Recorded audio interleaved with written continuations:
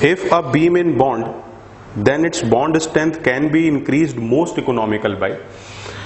तो अगर सबसे पहले तो बात, हम बॉन्ड की बात करें तो आरसीसी स्ट्रक्चर में बॉन्ड बनता है स्टील और कंक्रीट के बीच में।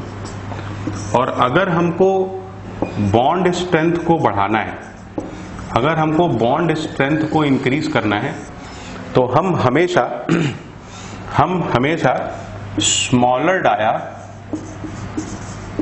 bars large in number इसको हम प्रीफर करते हैं।